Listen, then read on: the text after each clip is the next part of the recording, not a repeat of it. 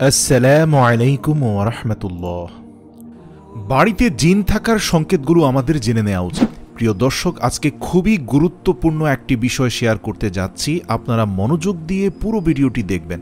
কীভাবে বুঝবেন আপনার বাড়িতে দুষ্টু জিন আনাগোনা করছে কিনা? অথবা আপনার সঙ্গে জিনের কোনো আসর আছে কিনা? কীভাবে বুঝবেন? এই বিষয়গুলো বোঝার জন্য বা উপলব্ধি করার জন্য অবশ্যই নিজেদের সাথে কিছু আলামত রয়েছে কিনা তা পরীক্ষা নিরীক্ষা করতে হবে, মিলিয়ে দেখতে হবে। এক নম্বর হচ্ছে, আপনার নিজের অথবা আপনার পরিবারের অন্য কোনো সদস্যের গায়ে যদি প্রায় সময় রক্তের ছিটা দেখতে পান, অথচ আপনার অথবা পরিবারের কারও গায়ে রক্তের ছিটে ফোটা আসার কোনো সম্ভাবনা নেই, তারপরেও যদি আপনি এমনটা দেখতে পান, তাহলে বুঝে নেবেন যে আপনার বাড়িতে জিনের আগমন রয়েছে।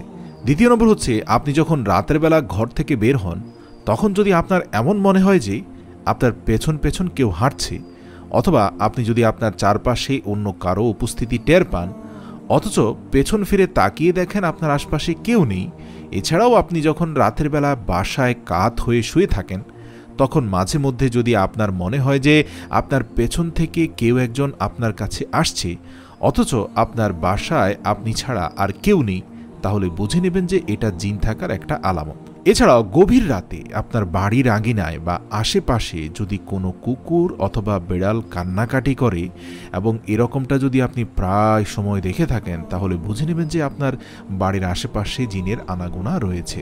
প্রিয় দর্শক, যদি এমনটি হয় যে আপনি আপনার বাসায় আপনার কোনো দরকারি বস্তু এইমাত্র রেখে গেছেন, কিন্তু কিছুক্ষণ পর দেখেন উক্ত স্থানে আপনার দরকারি বস্তুটি আর নেই, সেটি তার নিজ স্থান থেকে অন্য কোথাও সরে গেছে। তাহলে বুঝবেন এটি দুষ্ট জিনের কারসাজি। এটি যদি প্রথমবার আপনার সঙ্গে ঘটে, তাহলে এতে ভয় পাওয়ার কোনো কারণ নেই। কেননা এটাও হতে পারে যে আপনি একটা জায়গায় আপনার দরকারি জিনিস রেখেছেন, কিন্তু আপনার মনে নেই।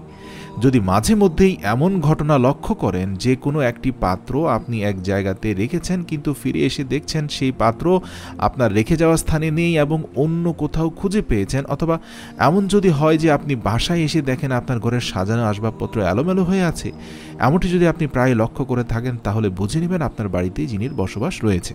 তারপরে রাতের বেলা হঠাৎ করেই আপনার বাসার ছাদে বা আপনার ঘরের দরজায় যদি কেউ ঢিল ছোড়ে, সেটা হোক উপর থেকে বা সামনে থেকে, যেখান থেকে ঢিল ছোড়া হোক না কেন, এরকমটা যদি প্রায়ই হয়, মাঝে মধ্যে কদাচিৎ কেউ একজন মারতে পারে বা অনেক ছোট বাচ্চারা অনেক সময় ঢিল মেরে থাকে কিন্তু আপনার ঘটনাটা যদি মাসের পর মাস ঘটে থাকে, তাহলে বুঝে নেবেন আপনার বাড়ির আশপাশে অথবা আপনার বাসায় দুষ্টু জিনের বসবাস রয়েছে।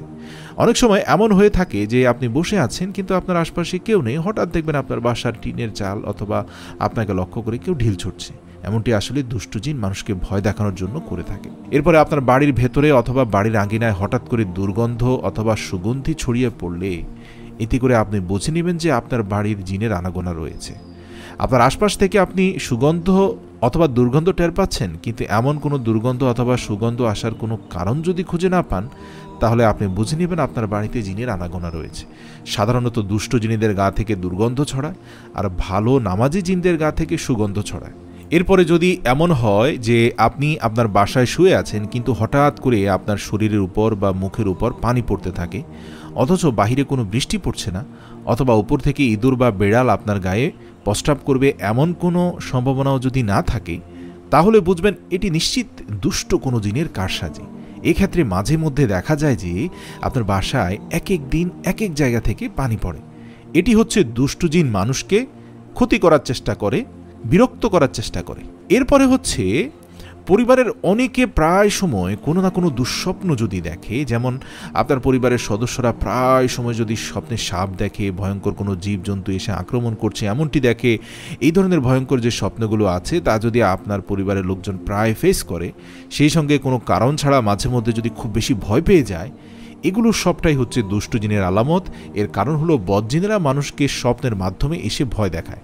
সর্বশেষ হচ্ছে, যদি আপনার পরিবারের সদস্যরা প্রতিনিয়ত কেউ না কেউ বারবার অসুস্থ হতে থাকে, যেমন আপনার পরিবারের মধ্যে কেউ একজন অসুস্থ হয়ে সুস্থ হওয়ার পর আবার পরিবারের অন্য সদস্য অসুস্থ হয়ে যাচ্ছে, অর্থাৎ পুরো বারো মাস অসুস্থতা লেগেই আছে এমনটা কিন্তু প্রায় মানুষের ক্ষেত্রেই হয়, অনেক পরিবারে হয়, যেমন মাথা ব্যথা, শরীর ব্যথা, শরীর জ্বালাপোড়া করা, চোখে প্রচুর পরিমাণ ঘুম আসছে, কিন্তু ঘুমোতে পারছেন না, এমনকি আপনি কেন ঘুমোতে পারছেন না, তাও বর্ণনা করতে পারছেন না। আবার দেখা যায় পরিবারে কারও না কারও লাগাতার অসুস্থতা লেগেই থাকে। এমনটা যদি লক্ষ্য করেন, তাহলে বুঝে নেবেন যে আপনার বাড়িতে জিনের বসবাস আছে এবং যত তাড়াতাড়ি সম্ভব আপনি এর প্রতিকারের ব্যবস্থা করবেন। প্রিয় দর্শক, জিন প্রতিকার করার সর্বশ্রেষ্ঠ পদ্ধতি আল্লাহ রাসুল সাল্লাহ সাল্লাম শিখিয়ে গেছেন, সেটা হচ্ছে সুরা নাস এবং সুরা ফালাক।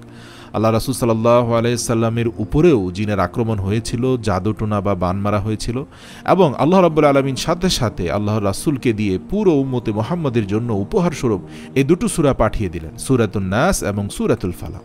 এই দুটো সুরো পড়ে আপনি যদি পানিতে ফু দিয়ে খান অথবা নিজের বুকে ফু দেন, এছাড়াও পাশাপাশি আয়তল কুর্সি পড়ে বুকে ফু দেন, কোনোভাবে, কোনো জিন, আপনি, আপনার পরিবার, কারও কোনো ক্ষতি করতে পারবে না। এছাড়াও আসরের নামাজের পর এবং ফজরের নামাজের পর নিয়মিত যারা আয়তাল কুর্সি তালোয়াত করে, এর পাশাপাশি সুরা নাস এবং ফালাক তালোয়াত করে নামাজের বিছানা থেকে উঠে তাদের ঘরে সকল সদস্য, জিন এবং যাবতীয় জিনের আসরের হাত থেকে রক্ষা পেয়ে যাবে।